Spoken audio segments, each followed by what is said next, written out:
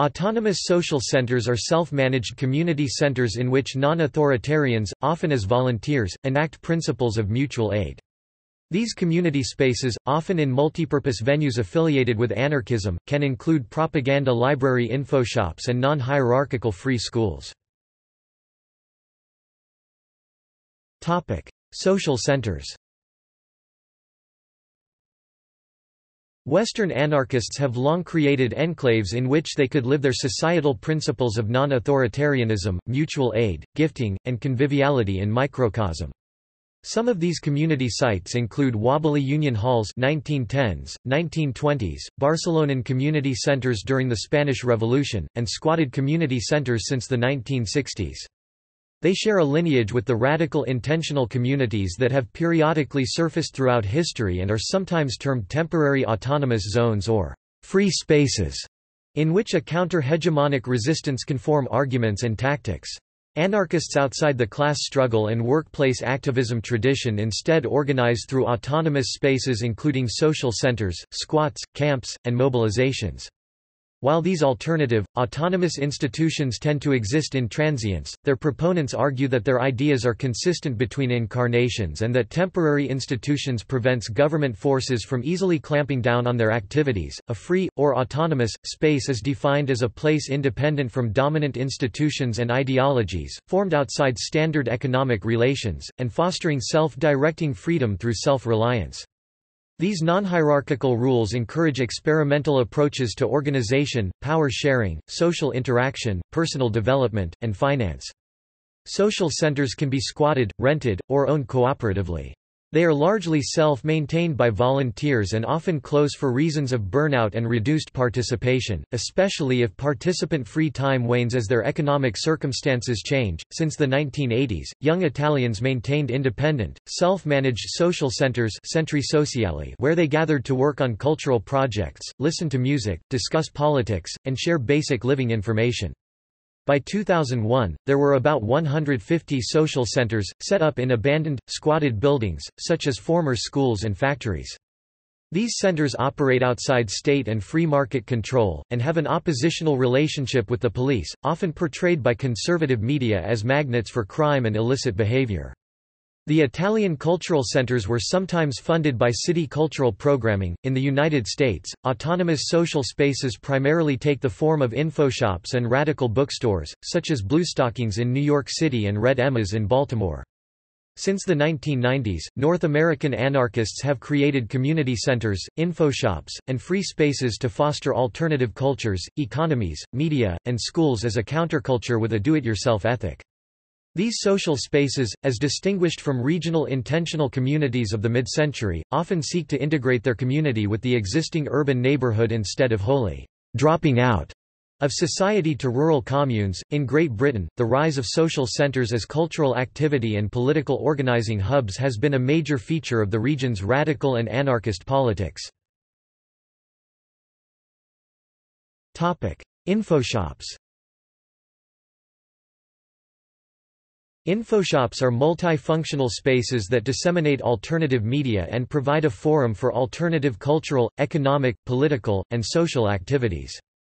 Individual infoshops vary in features but can include a small library or reading room and serve as a distribution center for both free and priced, retail alternative media, particularly media with revolutionary anarchist politics.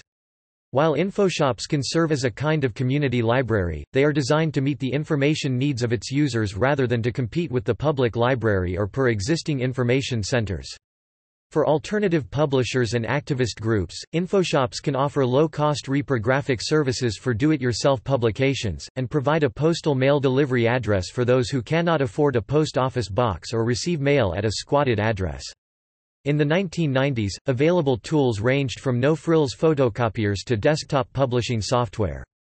Besides these print publication functions, infoshops can also host meetings, discussions, concerts, or exhibitions. For instance, as activist video grew in the 1990s, infoshops screened films and hosted discussion groups that, in turn, encourage debate and collective action.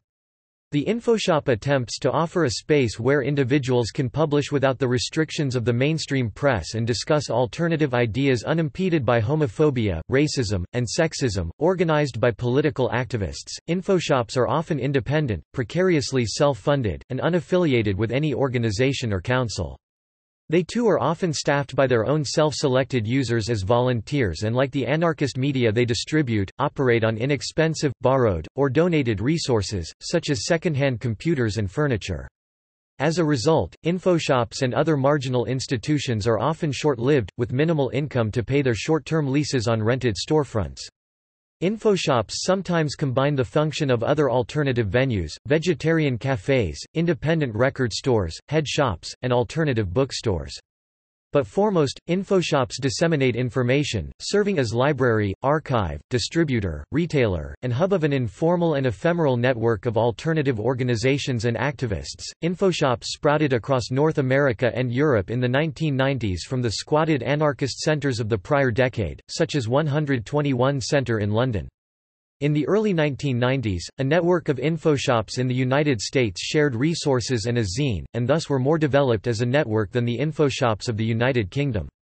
Separate from the anarchist tradition, radical presses have long been associated with meeting space functions, such as Giles Calvert's Press 1600s and John Doherty's Bookstore 1830s. .Some infoshops reflect the protest subcultures to which its volunteers belong.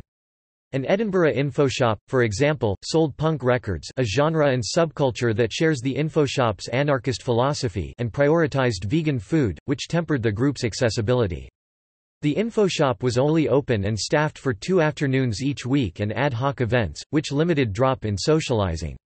The group made decisions by consensus at open business meetings with regular attendees, a handful of people who ran most of the infoshop. Infoshops in the United States, especially those run by large, unfocused groups, have been known to close for reasons of schisms and infighting. Their goals can also appear opaque to outsiders and inarticulate at explaining the purpose of its strategy, vision, and stances. Free schools Anarchists, in pursuit of freedom from dogma, believe that individuals must not be socialized into acceptance of authority or dogma as part of their education. In contrast to traditional schools, anarchist free schools are autonomous, non-hierarchical spaces intended for educational exchange and skill-sharing. They do not have admittance criteria or subordinate relations between teacher and student. Free schools follow a loosely structured program that seeks to defy dominant institutions and ideologies under a non-hierarchical division of power and prefigure a more equitable world.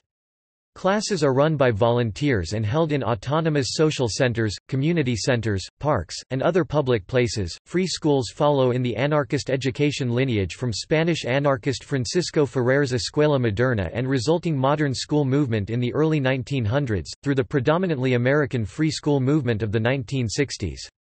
The American anarchist Paul Goodman, who was prominent in this latter movement, advocated for small schools for children to be held in storefronts and to use the city as its classroom. In one example, a free school in Toronto grew from the closure of a countercultural community cafe with the opening of an anarchist free space. It sought to share ideas about how to create anti-authoritarian social relations through a series of classes. All were invited to propose and attend classes, whose topics included, 1920s love songs, alternative economics, street art, and violence against women, though the longest-running classes introduced anarchism and related politics of syndicalism and libertarian socialism. The course instructors served as facilitators, providing texts and encouraging participation, rather than as top-down lecturers.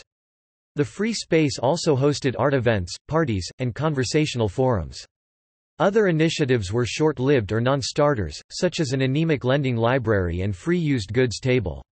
Another free school in Nottingham found Skillshare-oriented classes with more traditional pedagogy more popular than sessions on radical education. Similar to free schools, free university projects are run from college campuses most prominently in Europe. Organized by volunteer student collectives, participants in these initiatives experiment with the process of learning and are not designed to replace the traditional university. References. Bibliography. Further reading External links. Directory of Autonomous Social Centers